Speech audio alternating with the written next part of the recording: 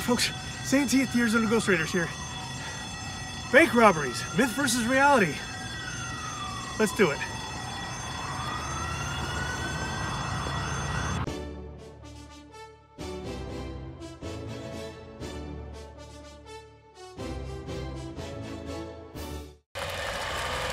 Many Western books, films, and television shows would have us believe that bank robberies were a common occurrence in the Wild West.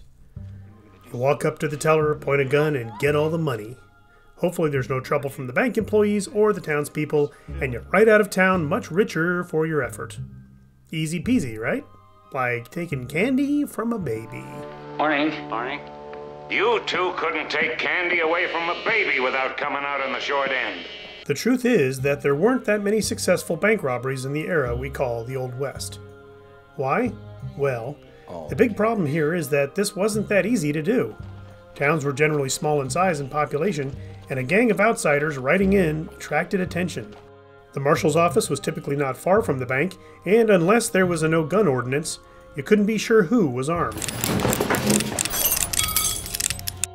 Another issue is that banks kept the townspeople's and business owners' money in them, and people got a little protective of their life savings.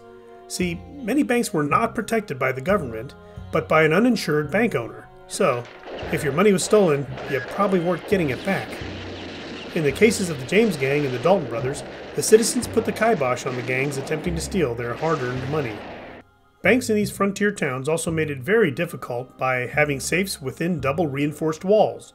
Some made it even harder for outlaws by nestling themselves tightly between two businesses, limiting their escape route. The idea of blowing the safe was highly unsuccessful. In 1903, Oregon robbers tried for a couple hours and basically destroyed the building and never did get into the safe. Nine years later, Elmer McCurdy would try that in Kansas with the same result. Other notable bank failures are the 1884 Medicine Lodge robbery in Kansas, the 1893 Delta Bank robbery in Colorado, and the 1896 International Bank robbery in Nogales, Arizona. All of these resulted in the gang members getting caught or getting killed. Now, don't get me wrong, there were successes. I'll show you customer service. Hmm. In 1889, Butch Cassidy and cronies robbed the San Miguel Valley Bank and Telluride and made off with $20,750. In 1891 and 92, the McCarty Gang robbed a couple banks in Oregon and Washington. The James Gang had many successful robberies before the ill fated Northfield raid. By and large, it was much harder to pull off than robbing a stagecoach or even a store. Yeah, there were far more of those in the Old West than bank heists. We'll go into store robberies in another episode. Hey, don't nobody move! This is a! But the interesting takeaway here is that in almost all these cases, the gangs didn't quit when the going got good. No.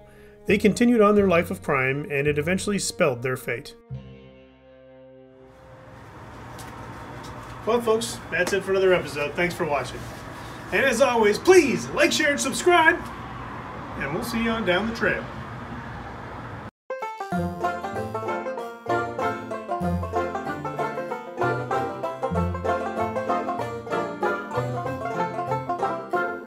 In 1889, Butch Cassidy and cronies robbed the San Miguel Value Bank in in 1899 Butch